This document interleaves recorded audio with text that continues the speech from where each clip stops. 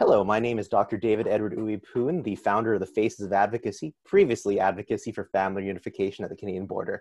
We are really happy today to have the sole NDP who stood with us during our press conference, MP McPherson, who is of Edmonton Strathcona, which interestingly was where I did medical school. So, welcome, MP McPherson, and thank you so much for coming.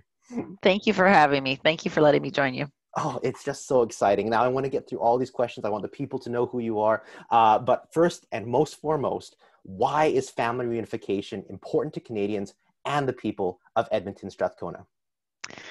You know, it comes down to a it comes down to an issue of fairness. It comes down to an issue of justice, uh, and and so much of the work that we do within the NDP does come down to that. Mm. But but but what we've got here is we've got a situation where allowing people to fall through the cracks. We're allowing people to suffer because we're not prepared to take that that next step we're not allowed we're not taking the the the very reasonable next step to say you know committed couples um, common law people that are um, are in these relationships don't need to be don't need to be kept apart. That mm. those those black and white lines that have been drawn in the sand don't make sense. And we need to to work around that and work with individuals to to come up with solutions that are that are both that are both just and fair but are also empathetic and kind Yes, and empathetic and kind piece is something that really matters to us because uh, you have been a government official who has heard us, and we can hear the empathy that you have, and we're just so thankful for all of that.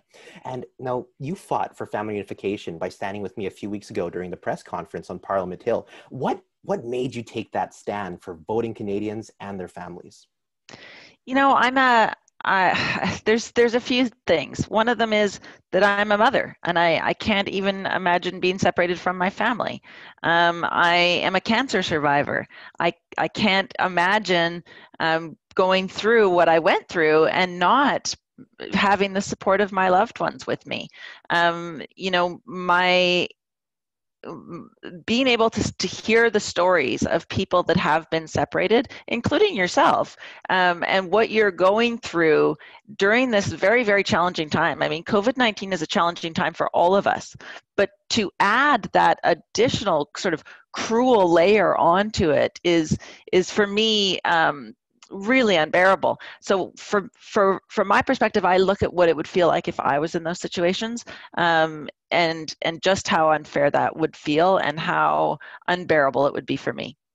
Thank you for trusting us with uh, the personal uh, pains that you went through. And um, I know I, when I speak for myself, I, I, I don't. I, I, think it's well beyond just my story. Uh, uh, my partner and I, we don't have children, uh, and knock on wood, my partner and I we're not sick we don't we don't have a major illness but you touching on such an important topic really shows the length of compassion that you've had for us and our campaign. This is a good segue into how has family separation then affected mental health? Like i said covid-19 has has really been a challenge for many people and it's it's affected different people differently of course. But one of the things that we have seen is that for a lot of, of canadians a lot of people around the world the the anxiety the stress the uh, isolation that's come with covid-19 has caused a real spike in mental health concerns um, mm you know whether that be depression whether that be um, overdose whatever that looks like it's been a really difficult time for a number of, of individuals. And to like I said earlier, to add to that, to add another layer of anxiety um, where you're worrying about your loved ones, to add another layer of, of stress to what is an already incredibly challenging time for all of us, um, and especially to add those layers when they're not necessary when it's when it's not required when there is a solution where we could be moving and and reducing those things um, right now i think is is is wrong and so so we know how hard it is for a lot of people right now let's do what we can to make it better a lot of times when uh, we talk about this, um, I, I, explain to people imagine you think the world is in a horrific pandemic. Who do you want beside you? And the answer is always family. And and so, if on the topic of how to help, and if on the topic of how to be together, how do you see family reunification occurring safely in Canada? Well, we, you know, we've already had some of that family reunification happening. It's just that we have to broaden it to make it be more accessible to people that maybe don't meet these sort of narrow definitions of, of that we've that we've put forward. So there is ways to do it. We know about um, we know about how we can make sure that there's isolation. Um, there's there's much better access to testing certainly than there was at the beginning of the pandemic. There is a method where you can have people come back, reunify in a safe way uh, that protects Canadian citizens, that protects people in other countries, that protects the people traveling. Um, we know how to do this. This isn't this isn't really that hard. Um, it's really just having the political will, having the desire to fight for people who really do need this this to happen. I can hear in your voice that willingness to fight, and that I, I, that really helps a lot of us as we galvanize and try to push forward in this campaign. Um, so I personally I know the amount of work they've done for the people of Edmonton, Strathcona. I'm wondering that if you could tell the people watching who maybe don't know you as well, what have you been done? What are you currently doing uh, to help bring your constituents and the Canadian people, bring the Canadian families together during COVID 19 safely? Well and it's been i mean i'm a new member of parliament. I was only elected for the first time in october. And it's been, it's it's been a bit wild. But one of the things that we did very very effectively at the beginning of the pandemic was work very closely um, with constituents with our community to bring people back to canada that wanted to return to canada. Uh, you know there were 3 million canadians that returned very very quickly back to canada when the pandemic was declared. So so we knew that that it, we we do know that it's very very possible for us to do this. We do know the work that we can do to bring people back together. And so what what the NDP have been pushing for is to make sure that this family reunification is is front and center. That we that we are pushing the government. That we've been calling for Minister Bill Blair to actually do the the necessary work to get this happening. Um, you know, these are the kinds of things I think we need to do. We need to make sure that when we go back, when Parliament sits again, that we don't let the government off the hook on this.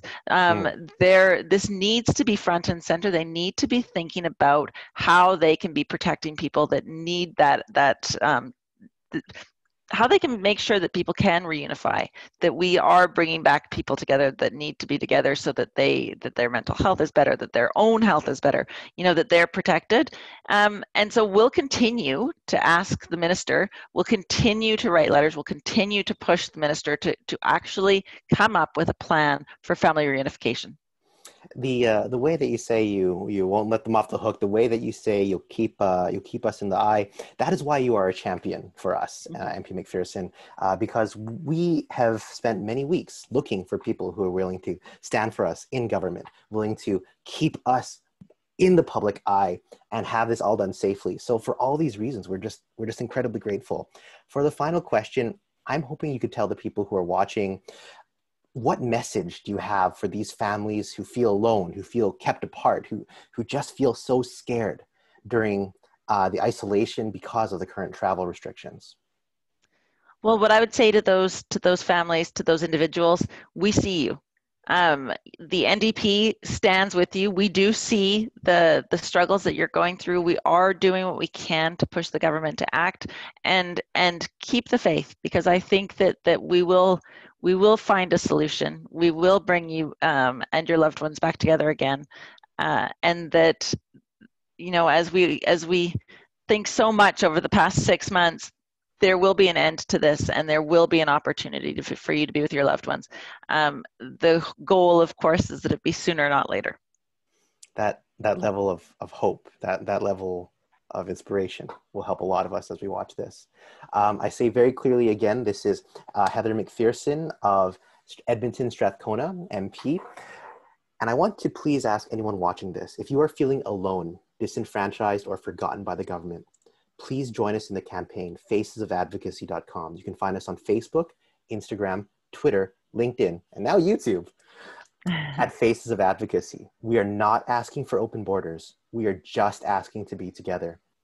We thank MP McPherson so much for being here today. And as we sign off, it's three, two, one.